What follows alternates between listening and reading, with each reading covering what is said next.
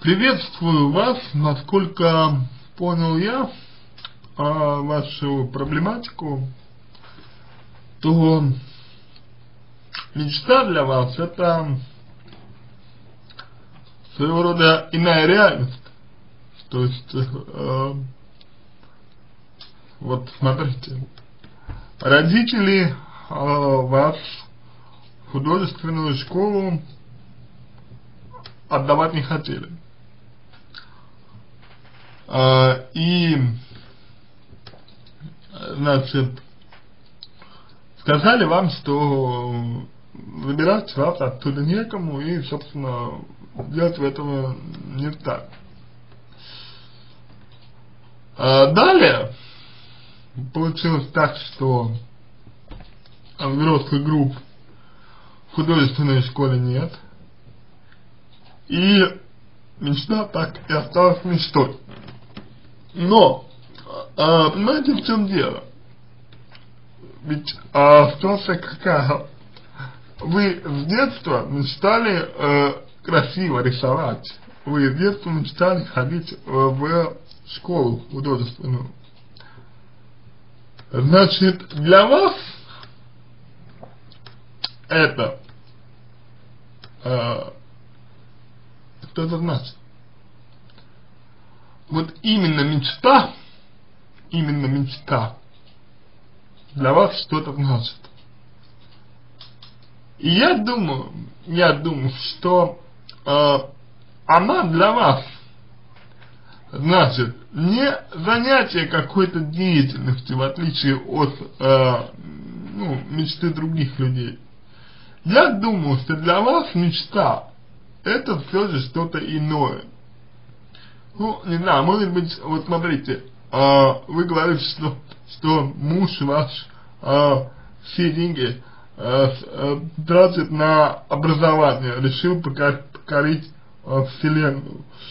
Не очень, не очень понятно, э, всерьез вы это говорите или нет, но э, в любом случае Э, если проанализировать, например, например э, ну, скажем, ваши отношения с родителями, то э, я уверен, что э, так же, как и родители, ваш муж как бы э, говорит вам, что нет, сейчас ты этого, ты этого не можешь сделать, сейчас, сейчас ты э, там, ну, как, как бы, сейчас это, этого нельзя и так далее. То есть, по сути, вы а, выбрали своим мужем а, те же отношения, те, то, то же взаимодействие, да, что и а, с родителями. И как родители не давали вам э, делать то, что вы хотели, так и муж, по сути, тоже э, думает в основном о себе. Ну, согласитесь, вот странный, э, странный выбор немного, э, если вы говорите, что э, в связи мечтах, мечтали ходить в художественную школу, да, э, и казалось бы, если, если бы вы этого хотели, то вы бы точно выбрали себе, э, ну, такого человека, который бы э, ни в коем случае вас ни в чем, ни в чем бы не ограничивал. Ага, получается же так, что, э, ну, получается так, что вас ваш муж ограничивает. Вот этот выбор, о том, что вы тем более его не, вини, не вините, такое ощущение, что вы привыкли э, все время ждать, вы привыкли э, все время жертвовать собой. И э, жертвуя собой, вы а, оставляете для себя вот эту вот отдушину, отдушину, э, которая является вашей мечтой. Но при этом мечтаете вы о ней, э, ну, о школе, я имею в виду художественной, и об э, умении хорошо, э, красиво рисовать, только в контексте иной реальности для вас. То есть это реальность, в которой вы там не, на, э, не должны быть никого ждать, это реальность, в которой вы э, там ни на кого не оглядываетесь. Это реальность, в которой э, у вас вот нет как раз э, нищеты, как вы говорите и так далее. Кстати, э, как вы относитесь к материальному состоянию и, и вообще какова история вашего брака, если вам не нравится нищета, то почему вы э, вышли за мужчину, который считает себя нищим, который все деньги э, сливает в свое образование, то есть как бы образование хорошо, но опять же действовать, э, то э, заниматься им, самообразованием, но при этом в ущерб э, своей, своей семье при, при наличии э, супруги, да, это, мягко говоря, странно. То, то же самое, как, например, вот, э, если бы, допустим, эм, ну, если бы у вас, например, э, родился бы ребенок, да, а вы бы вместо того, чтобы воспитывать его, да, там, э, занимались, например, скажем, опять же, тем же самообр э, самообразованием, да, вот. И это было бы странно. И также странно и здесь тоже, потому что, ну, грубо говоря, образование для вашего мужчины, оно важно, хорошо, но курсы это ваши, как я понял, они э, куда более э, краткосрочные по, времени, по времени. И почему э, мужчина значит, э, все-таки не позволяет вам э, этого делать, непонятно. Далее, вы пишете о том, что вы боитесь открывать, э, значит, э, книжку, боитесь начинать что-то делать, боитесь начинать заниматься. Я для вас здесь э, тоже э, поясню, почему вы боитесь. Знаете, э, если, э, если то, что я думаю, это правда, то есть а, я говорю сейчас, сейчас именно о чем? О том, что мечта для вас это вот своего рода такая вот измененная реальность, скажем. Если я прав, то естественно вы, э, естественно вы боитесь, потому что стоит вам начать э, заниматься этим, это уже совсем не мечта получается тоже обычное дело, которое, может быть, вас даже и не привлекает совершенно, тем более, что вы не работаете. Кстати, вот тоже, э, почему вы не работаете, э, если у вас нет детей, тоже не очень понятно. Вот. Есть, есть подозрение, что э, родители у вас были либо довольно строгими, либо, напротив, как-то вот не особо э, беспокоились о вас, и, э, собственно, есть подозрение, что вы просто-напросто не привыкли вот чего-то добиваться конкретного, э, как бы много внимания уделяя мечтам и находя удовлетворение именно в том, чтобы мечтать. Именно в том, чтобы мечтать, находя удовлетворение, но при этом э, как бы не совершая ничего конкретного для того, чтобы э, свою мечту реализовать.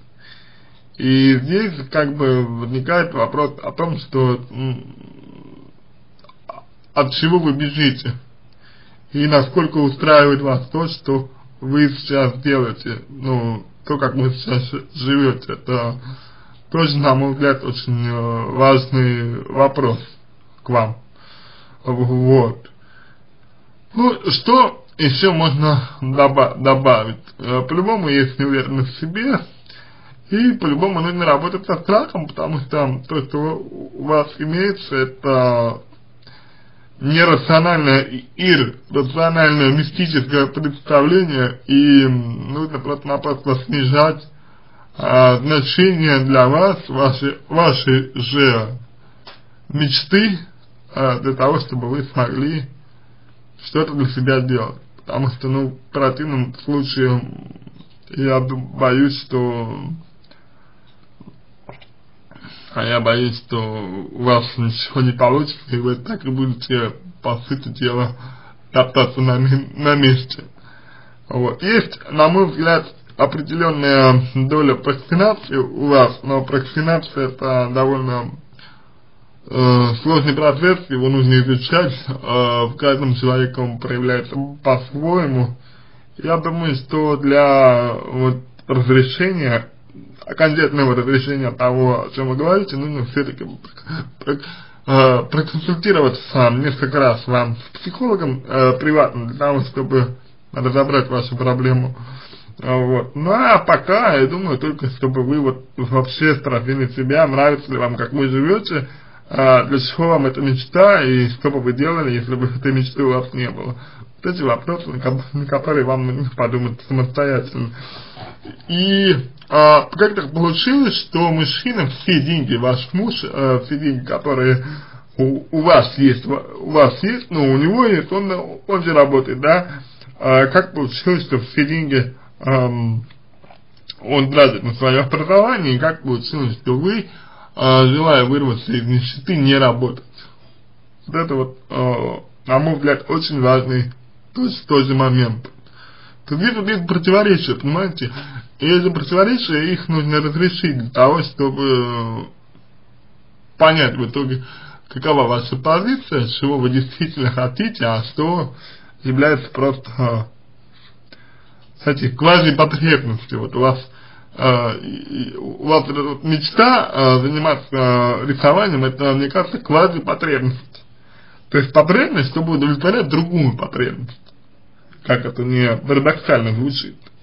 Ну, соответственно, это нужно разобрать, и тогда вы осознаете свои реальные потребности и будете уже удовлетворять их, а время э, свое не будете тратить на то, что вам принципе не нужно, потому, потому что, ну, поверьте мне, э, если бы вы действительно хотели заниматься рисованием, то вы бы э, дня не могли бы прожить без того, чтобы что-то нарисовать. То есть творческий человек, в принципе, это э, человек, который не может э, без своей деятельности. Вы без своей деятельности обходитесь прекрасно, поэтому я думаю, что вам э, важно не столько э, рисования, сколько именно вот весь этот антураж э, похода в художественную школу, может быть, сама культура, сама атмосфера, вот этого вот, это может быть. Но опять же возникает вопрос, для чего вам это надо.